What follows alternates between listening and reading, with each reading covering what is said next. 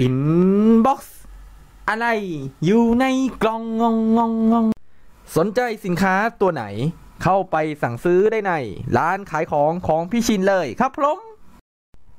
โอเคครับผมเราจะมาต่อกันที่ part สองนะครับผมซึ่งเรายังค้างไว้อยู่นั่นก็คือการ์ดจากอ่า Magic World นั่นเอง เราจะมาดูเวทมนต์กันต่อนะครับผมเวทมนต์ที่เหลือของ Magic World มีอะไรบ้าง เวทมนต์ใบแรกนะครับผมกับ Noisy Dance Room นั่นเอง แปลเป็นไทยก็ห้องเต้นอันน่าหนวกหูนะครับผม อันแล้วแต่จะแปลแล้วกันไปคำๆ ใบนี้นะครับผมเป็นเซตหรือก็คือการ์ดใบนี้ใช้แล้วจะวางอยู่บนสนามนั่นเอง มี cast cost เป็นจ่าย 1 gauge นะครับผมอะเดี๋ยวเตรียม gauge ไว้ก่อนดีกว่า แต่จริงเรื่องการร่ายเวทมันจะมีตัวนี้ support มา เช่นแบบลงมา แล้วก็ร่เซตฟรีหรือว่าลดค่า cost อะไรก็ว่าไป ใบนี้นะครับผมมันบอกว่า 72เสาหลัก ทุกใบในสนามเราได้รับ power วง 1,000 เฮ้ย เยอะนะ ให้ตั้ง 1,000 แน่ และมีความสามารถ active เราสามารถจ่าย 1 เกตเพื่อนำ72เสาลาก1ใบในสนามเรากับขึ้นมือ เราใช้ความสามารถนี้ได้เพียง 1 ครั้งใน 1 เทิร์นขนาดก็คือมันจะลูกเล่นอะไรบ้างนะครับผม อะเดี๋ยวเรามาเริ่มแต่การไล่ก่อน อะเราไล่ก่อนละกันนะครับผม จ่ายค่าคอร์สกันเลย จ่าย 1 เกตแล้วก็ค่าในสนาม คราวนี้โอเคติดสลักทุกใบก็จะพลังบวก 1,000 ทันทีนะครับผม อะยกตัวอย่างเช่น อ่า เป็นแอสโมไดก็ได้มั้ง อะ แอสโมไดก็จะตีแรงขึ้นนั่นเองนะครับผม ทีนี้ไม่ใช่แค่นั้น อย่างเช่นแอสโมไดเนี่ยสมมติว่ามันใช้ skill ไปแล้ว อยากใช้อีกทำยังไงดี เราสามารถใช้งาน skill ของ Noisy Dance Room ได้นะครับผม จ่าย1 gauge นำ72เสาหลัก1ใบกลับขึ้นมือ แล้วเดี๋ยวเราก็อาจจะลงตรงนี้แล้วก็ทิ้งยิงอีกได้นั่นเอง เรียกได้ว่าเป็น skill ที่แบบเอามาวน พวกความสามารถของดีๆของ72เสาหลักมาใช้ได้เรื่อยๆนั่นเองนะครับผมแหมเจ๋งจริง ๆ อย่างเช่นใช้กับ แอสโมได เนี่ยเท่ากับว่าทุกๆเธอเราจะยิงคู่แข่งได้เรื่อยๆนั่นเองครับผมยิง monster ตายหนึ่งตัวฟรีๆอะแถมพวกนี้พลังจะบวกเยอะขึ้นด้วย เป็นการเซตที่โหดมากนั่นเองนะครับผมนั่นแปลว่าถ้าเกิดเรามีโอกาสแปะในสนามไว้หลายๆใบ พลังก็จะบวกไปเรื่อยๆ แล้วก็ combo ได้เรื่อยๆ นั่นเอง เป็นเวทมนต์ที่น่าสนใจอีกใบหนึ่งกับ Noisy Dance Room นะครับผมโอเค ไปเป็นเกรดซะเตรียมเกรดเพิ่มนิดนึงเวทมนต์ใบถัดมานะครับผมกับ Abra Cadabra นั่นเองนะครับผม ใบนี้มี cast cost เป็นจ่าย 2 gauge ร่ายการ์ดนี้ได้เมื่อคู่แข่งร่ายเวทมนต์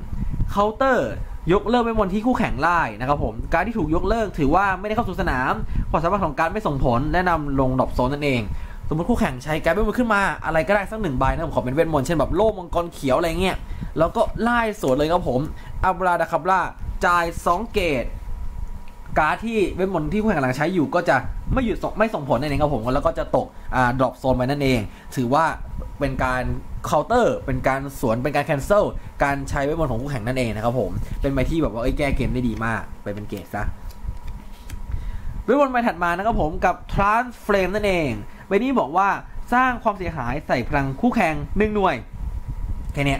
ลงมายิงตุ้มหนึ่งหน่วย ถามว่าดีไหมมันแล้วแต่ที่จะคิด บางทีเนี่ยเป็นมนต์แบบนี้อาจจะทำให้ปิดเกมก็ได้ หรือบางทีอาจจะไม่ได้ส่งผลอะไรเลยก็ได้ ยกตัวอย่างเช่นแบบไม่มีการ์ดบนมือเลยจั่วมาได้ใบนี้ แล้วคู่แข่งมีได้ประมาณสักห้าอย่างเงี้ยมันก็ไม่ช่วยให้เราพลิกเกมได้ใช่ไหมครับผมดังนั้นมันขึ้นอยู่ว่าเราจะใช้หรือไม่ใช้นั่นหรือว่าเราชอบหรือไม่ชอบนั่นเอง แล้วแต่สายที่จะเล่นอะไม่ถัดมา Devil Advantage ซึ่งวันนี้พี่ชินชอบมากคิดว่าดีมากจริงๆ skill อะมันมีมันมี skill บอกว่ามี cast cost เป็นจ่ายหนึ่ง gauge ก่อน พอจ่ายปุ๊บเลือก 72เสาหลัก 2 ใบที่มีชื่อเหมือนกัน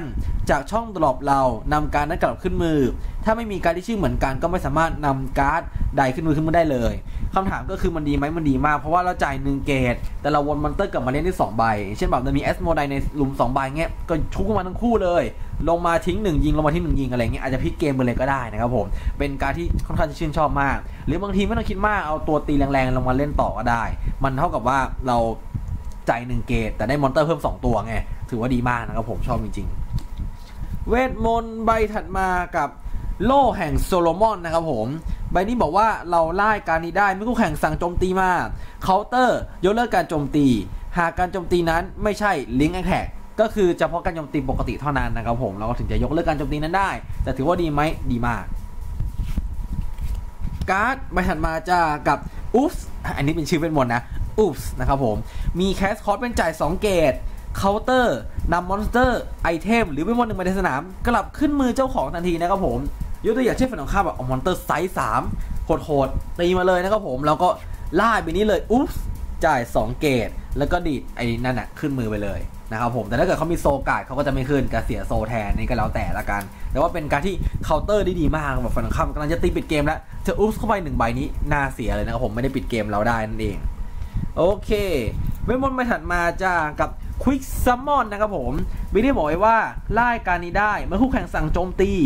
เคาน์เตอร์call monster ลงสนามหนึ่งใบ โดยจ่าย call cost ตามปกติ monster นั้นได้รับ counterattack จนจบการต่อสู้ เปลี่ยนเป้าหมายการโจมตีมาที่ monster นั้นนะครับผมแล้วก็เคาน์เตอร์ได้ด้วย สมมุติว่าฝ่ายตรงข้ามเอา monster แบบ attack ประมาณสี่ห้าพันเราตีมาอะไรเงี้ยประมาณสักสามสี่พันแบบง่ายๆแล้วกัน เราแล้วเราไม่มี monster ในช่องกลางก็ได้แล้วก็ร่ าย Quick Summon นะครับผมแล้วก็เรียกเพื่อนเลยเรียกเพื่อนมาเลยนั่นเองแล้วเขาต้องมาตีตัวนี้เสร็จแล้วถ้าเกิดแน่นอนว่าเราชนะเราก็ counterattack เขาสวนด้วยเป็นการตีสวนนั่นเองนะครับผมดังนั้น Quick Summon เนี่ยจะเป็นอะไรที่แบบว่าป่วนคู่แข่งได้ดีมากเขาบอกเอ้ยตีเข้ามาเรียกพวกตีคืนเฉยอย่างเงี้ยฝั่งตรงข้ามเครียดแล้วเป็นใบที่แบบเฮ้ยน่าสนใจมากสำหรับคนที่แบบต้องการบุกเร็วหรือป่วนคู่แข่งใน turn ฝั่งตรงข้ามเนี่ยโหดมากครับผม เวทมนต์ใบถัดมาจ้ามหาเวท Saturday Night Devil Fever นะครับผม ใบนี้ถ้าเกิดตอนเห็นในการ์ตูนที่เราถ้ามันใจมากเอามาเต้นเต้นเต้นกันนะครับผมอะมาดูความสามารถกันก่อน มี cast cost เป็นจ่าย 2 gauge และพลังชีวิต 1 หน่วยนะครับผมต้องยอมเจ็บตัวนิดนึง บอกไว้ว่าร่ายการ์ดนี้ได้เมื่อเรามี72เสาหลักในช่อง drop zone 6ใบหรือมากกว่านะครับผมก็คือต้องตกหลุมเยอะๆก่อน counter call 72เสาหลักไซส์หนึ่งไม่เกิน 3 ใบจากช่อง drop เรา โดยไม่ต้องจ่าย call cost นำการ์ดทุกใบในช่อง drop zone เรากลับเข้ากองแล้วก็สลับกองนั่นเอง คือเราจะได้อ่า เราจะได้ monster เข้ามาในสนาม 3 ตัวที่เป็นไซส์หนึ่งและการ์ดทุกใบในกองจะกลับเข้ากองมาหมดเลยทำให้เราสามารถวนของใช้ได้อีกเรื่อยๆนะครับผมเป็นใบที่แบบเฮ้ยใช้ทีนี้เหนื่อยนะ แถมแบบแล้วมันเป็นมันแบบมันเป็นที่บอกว่าป่วนคู่แข่งไม่พอเลยเรายังได้ advantage ได้ดีมาก คือถ้าเกิดคิดง่ายๆ เราเสีย 1 เลือดเสีย 2 gauge แต่เราได้ monster 3 ตัวเราจะตบตีอะไรก็แล้วแต่นะครับผมเป็นใบที่น่าใช้อีกใบหนึ่งนั่นเองกับ มหาเวท Saturday Night Devil Fever นะครับผม มาถึงการ์ดเป็นใบถัดมาจ้าหีบศักดิ์สิทธิ์นะครับผมใบนี้เป็นการ์ดเป็นประเภทเซตนั่นเองใบนี้บอกไว้ว่าการ์ดนี้เมื่อใช้แล้วจะวางอยู่บนสนามมาแน่นอนเป็นเซตเนาะมี cast cost เป็นจ่าย 2 gauge และนำการ์ด2ใบบนสุดจากกองการ์ดเราเข้าสู่ soul ของการ์ดนี้ในสภาพคว่ำก็คือจะไม่มีจะไม่ทางสามารถดูได้นะครับผม ถ้าพลังชีวิตของเราเป็นศูนย์เราสามารถแสดงการ์ดทุกใบใน soul ของการ์ดนี้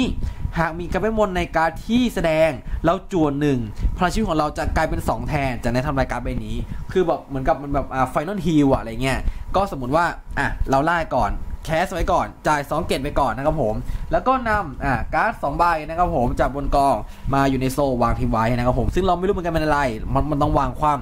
จากนั้นอ่าเราก็เล่นกันต่อเนื่องพอเออฝั่งข้ามโจมตีมาคือเราแพ้แล้วนะครับผม skill ของหีบศักดิ์สิทธิ์จะทำงานเมื่อพลังชีวิตเราเป็นศูนย์เรามาดูกันว่าในโซนนี้มีเวทมนต์ไหมถ้ามีมีด้วยนะครับผมมีทั้งสองใบแน่จัวการ์ดหนึ่งใบก่อนเลย และพลังชีวิตของเราก็จะเพิ่มเพิ่มเป็น 2 แทนนะครับผม และการเป็นนี้ก็ถูกทำลายไปมันจะกลายเป็นว่าเป็นหลักประกันว่าเฮ้ยเรามีโอกาสรอดจากการโจมตีครั้งนี้นั่นเอง แถมเราจะมีการตีสวนอะไรก็ได้แล้วแต่นะครับผมเป็นอะไรที่แบบน่าสนใจมากจริงๆ เว็บบอลใบถัดมาจ้าเป็นเว็บบอลที่แบบว่าใช้กันบ่อยมากกับ Magical Goodbye นั่นเอง เพราะว่ามันดีดใช้ง่ายนะครับผม ใบนี้ความสามารถง่ายๆเลยแค่อย่างเดียวเคาน์เตอร์นำ monster หนึ่งใบในสนามที่มีไซส์ 2 หรือต่ำกว่า กลับขึ้นมือเจ้าของนั่นนะว่ามันควรใช้ตอนไหน มันควรใช้ตอนนี้ฝั่งข้ามเข้าในช่วงของ attack phase แล้วนะครับผม ไม่ใช่แบบใช้เหมือนไอ้มอนนั่นในการ์ตูนเขาลงมาไปดีดเขาขึ้นมือ เขาก็ลงมาใหม่ได้แน่ดังนั้นเนี่ยก็ใช้ตอนเขาตีมา ตีมาปุ๊บดีดขึ้นมือไปเลย แค่นี้การโจมตีครั้งนั้นก็จะหายไปแล้วนั่นเอง เป็นใบที่แก้เกมได้ดีมากนะครับผม แต่ตอนดีดขึ้นมือลองหน่อยนะอย่าไปดีดตัวที่มันเอฟเฟกต์ดีๆแล้วลงมาใช้อีกนะครับผมเดี๋ยวเราเหนื่อย เวทมนต์ใบถัดมาจ้ากับ Go to Hell นั่นเองครับผม มี cast cost เป็นจ่าย 2 gauge นะจ๊ะ แล้วมีเคาน์เตอร์นะครับผมร่ายการ์ดนี้ได้ เมื่อคู่แข่ง call monster ที่มีไซส์ 2 หรือต่ำกว่า